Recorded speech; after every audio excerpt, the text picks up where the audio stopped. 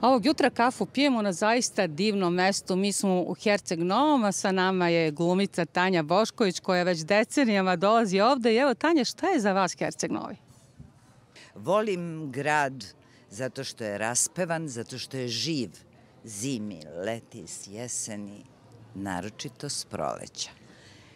U Herceg Novom je lepo sve. Lep je vazduh, lepe su ulice, lepa je vegetacija, lepo je more. I onda kad ne možete da se kupate u njemu. Vi ste i počasna građanka Herceg Novog. Dobili ste brojne glumačka priznanja. Koliko vam znači ovo priznanje? Ovo je vrlo specijalno priznanje. Ja nisam mnogo nagrada dobijala, ali ovo je nagrada po ljubavi. Ovo je najvrednija nagrada koju sam dobila i ja se zaista osjećam kao građanin, kao građanka, kao domaćica u ovom gradu. Sa radošću ću primiti goste i sa radošću ću ih i ispratiti.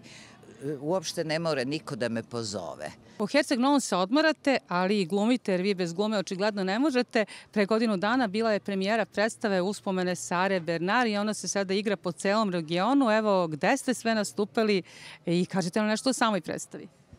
To je jedna priča o jednoj čudesnoj ženi, o jednom komplikovanom odnosu. Sara Bernard je, kao što znate, bila velika svetska glumica francuska i zvezda planetarna. Ona je jedina koja je s početka 20. veka putovala po Americi, putovala, igrala je i muški i ženski ulog, igrala je sve što je palo na pamet, smenjivala je i postavljala e, direktore francuske komedije. Ršu mi je pravila u Parizu, živela krajnje razbarušenim životom za ono vreme, potpuno nepojmljivo je bilo da ona radi šta hoće kao žena sama i samostalna.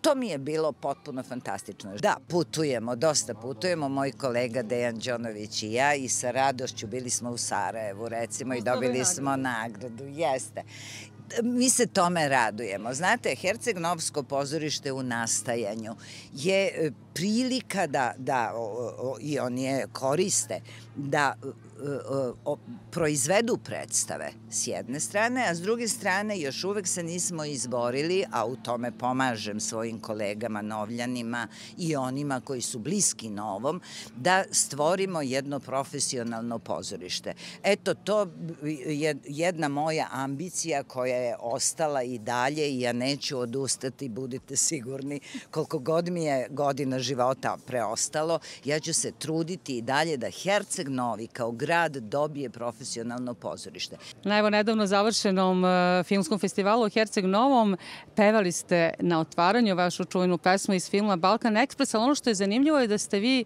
vodili prvi festival ovde.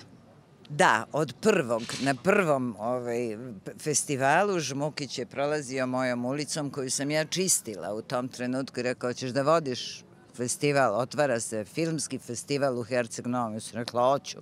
A kako se otvara filmski? Pa kaže, to, to bi trebalo da bude festival režije. Rekao, dobro, hoću. I tako je počelo.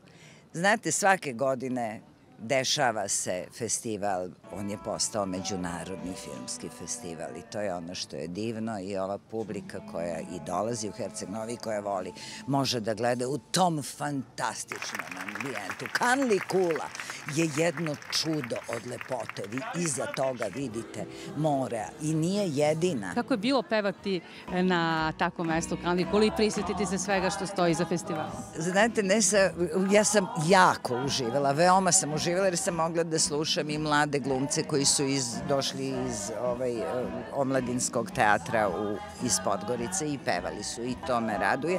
Ali sam se setila Sanje Ilića koji je vo vremija ovde imao veče za vreme festivala i da pomenemo Zorana Simjanovića i veliku zahvalnost. On je napisao za mene te dve pesme i hvala mu kako da kažem, to su moje dve biografske jedinice.